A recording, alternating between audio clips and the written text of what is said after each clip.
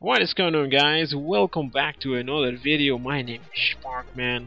I'm a game developer and today I want to show you an alternative to ClickTeam Fusion. Uh, ClickTeam Fusion is a game engine that allows you to make games uh, but you have to pay for it. So it's a good game engine but uh, if you're looking for a cheap alternative and when I mean cheap I mean free I mean, you don't have to pay anything for GDevelop. The main concern is, okay, it's free, is it going to be good? Uh, sometimes we tend to think that um, because it's free, maybe it's not good. But actually, the best game engine on the market is actually free. And of course, we're talking about um, Unreal Engine 4 and Unity.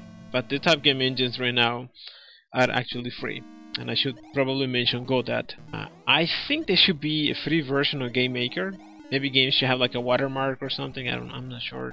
That's up to YoYo Games. I, I, I have no control over that. Now, a lot of people think I work for ClickTeam, and I actually don't. I, I get a lot of emails uh, about uh, complaints about the software, and uh, yeah, I'm here to tell you that uh, I actually don't don't work for. They actually ClickTeam banned me a, a while back. We won't go into these specifics, but uh, yeah, just uh, that's that's a story for another day. All right. But uh, yeah, so um, I still use Fusion every so often, depending on the project. Okay, because uh, as you know that I am probably one of the few people that is able to handle um, just about every game engine out there. I don't think I haven't found one game engine that I can actually use.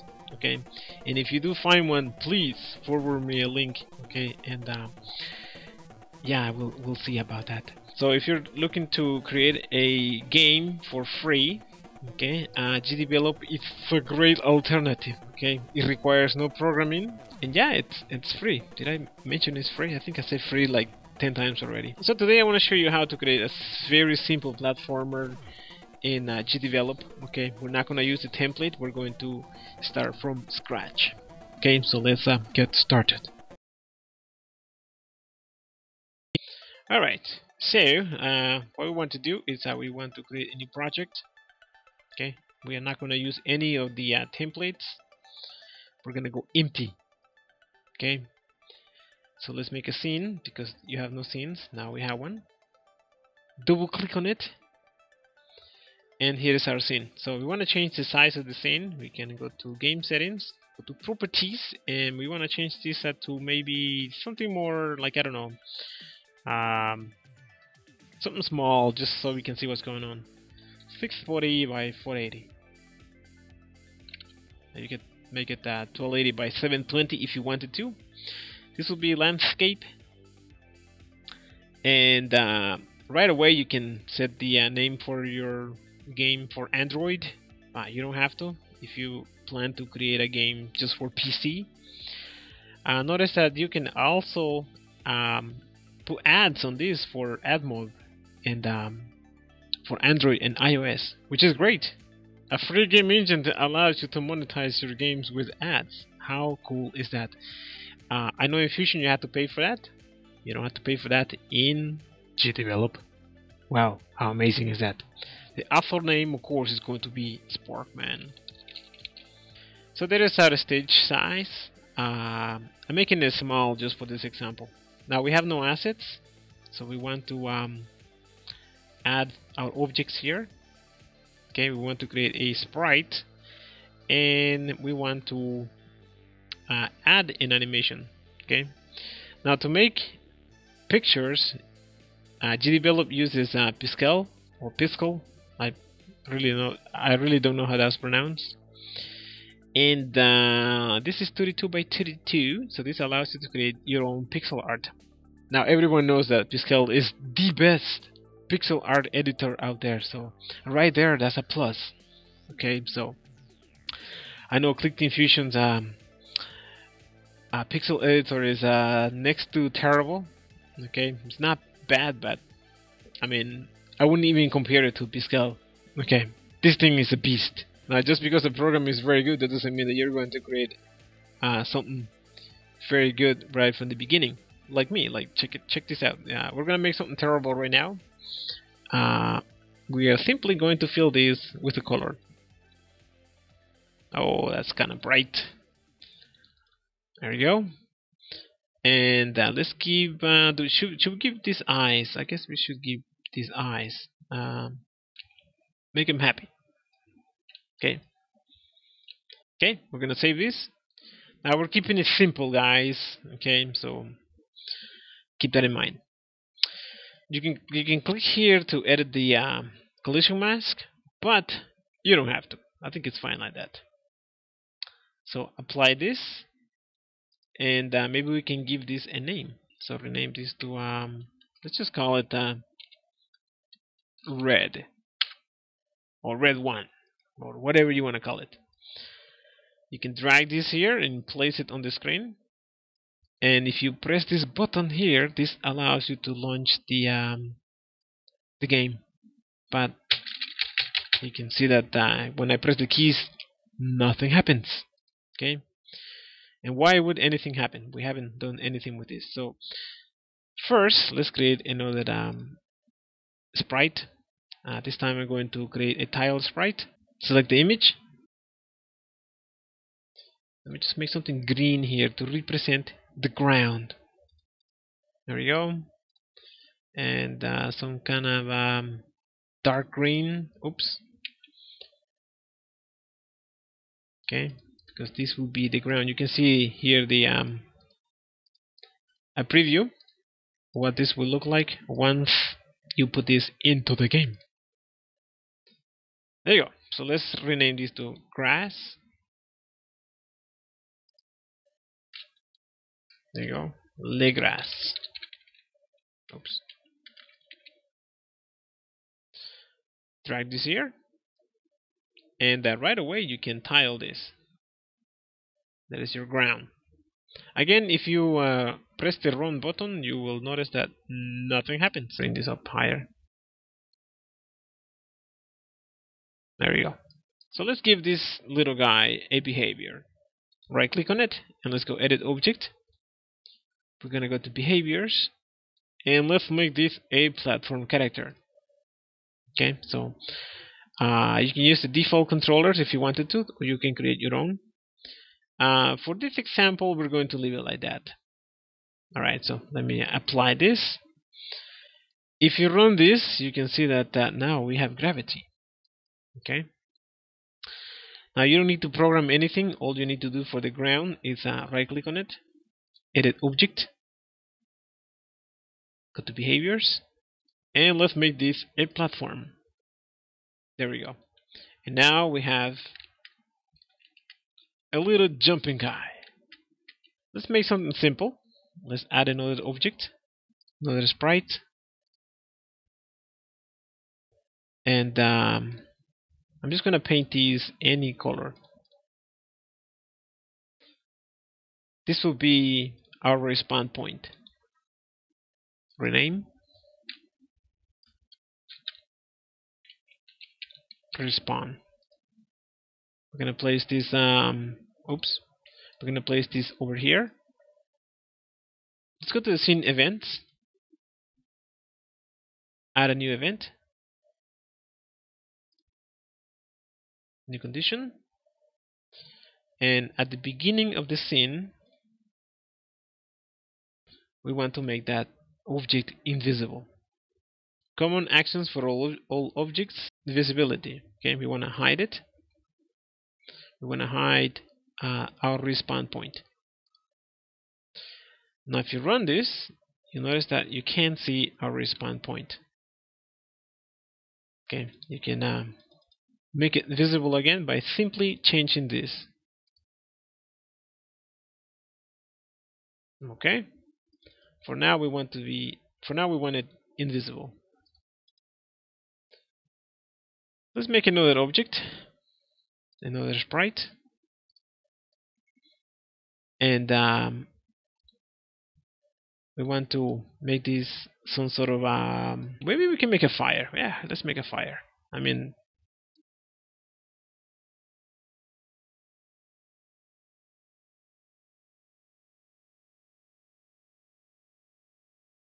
and I told you this software is incredible. Alright so that's our animation there.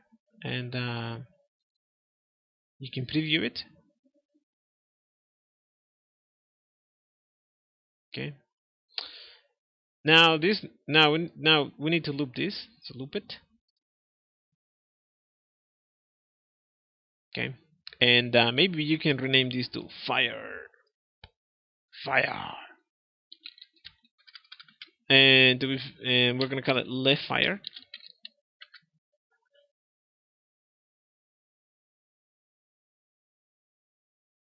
So simply drag this here.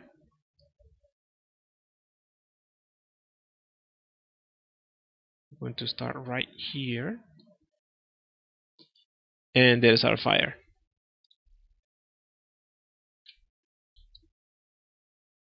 Now if the player collides with the fire, you notice that nothing happens. Okay, so we want to restart if the player collides with the fire. Alright, so let's go to um, Alright, so let's add a new condition. It's gonna be common conditions for all objects. Collision, collision with um, red in the fire. If that happens, we want to um, set the position of our object red center to our span point. Distance uh, 0 I believe is 0 by default. I'm not sure but uh, I'm going to put the 0 there anyways. And now watch what happens. When we touch the fire our character uh, respawns so uh, we can create another object. This is gonna be our gold. If you touch that uh, gold then you get to go to the next level. Let's make these uh let's make it let's make it some sort of flag. Wow what a terrible looking flag this is. Green okay. Green and yellow oh, that looks terrible try green and blue try green and purple there you go much better now you could animate this if you wanted to, and you don't even have to have this visible. So let's call this gold. Le gold. Okay, there we go.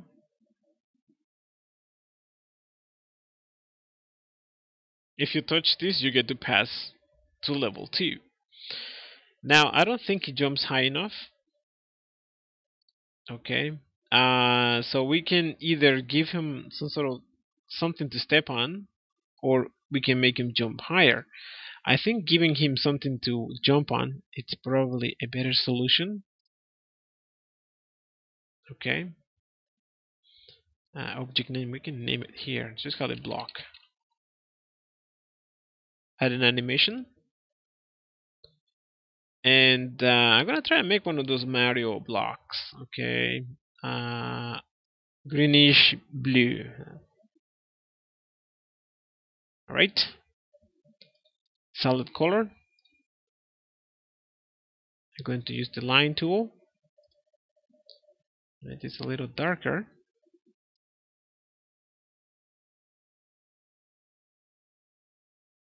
There we go. Now I want this lighter, darker, darker. uh, this would be dark darker and this a little lighter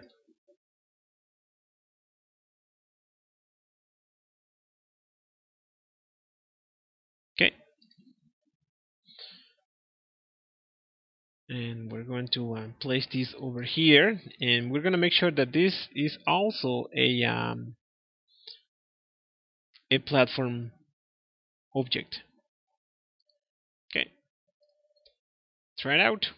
So now we have something to jump on. Now we don't have any event for the flag, so and that's because we need to uh, create another uh, level. Okay, so let's go to our scenes, and uh, this will be scene one. Okay, just let me rename it. uh, this will be um, level 1 so we want to simply copy this and we want to paste it. Uh, rename this to level 2 okay. So let's go to events and let's create a new event. Another collision, red and the gold. If that happens, we simply send our game to the next level. Change scene. We're going to change the uh, scene name to level 2. Make sure you use the uh, quotations. Okay. One thing I would like for them to add is that um, simply selecting the level. Okay, but um, it is what it is. Right. So there you go. So you just type the name of the level.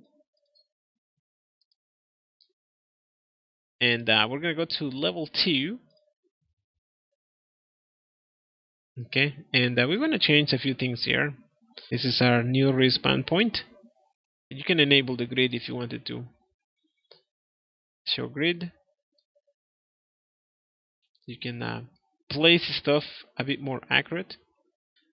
Now you don't have to keep dragging this. You can simply hold uh, control, I believe, and you can make duplicates. Okay, we can place our flag down here, down down down here somewhere. Now you can make the uh, collision mask smaller if you wanted to, or set the collision to another object. That's probably a better solution. So this will be level 2 let me just change the uh, color of the background. Background color. Uh, that's super bright. Okay. Alright it will be blue. Uh, now I notice that uh, the OK button gets hidden here. So if you can find it um, uh, it's down here. And let me just change the background color as well but for this example we're going to leave it like this this is our flag here. Alright, so let's try it out. Press play. And let's touch the flag. Now we're in level 2. So yeah, you can keep making games like this. Let me just uh, go to level 2 there. So in level 2, uh, if you touch the flag, now instead of uh, going to level 2, you want to change the scene to level 1 okay you can keep making more levels if you wanted to. As many as you like. Okay try this out. Now when we touch the flag we should go back to level 1 just like that. And there you go. Making games for free in GDevelop. Download GDevelop, it's free and start making games. Thanks for watching guys, don't forget to subscribe and leave a like. Also don't forget to comment, say something. If you play Fortnite don't forget to use the SparckmanX tag. See you in the next video. Bye now.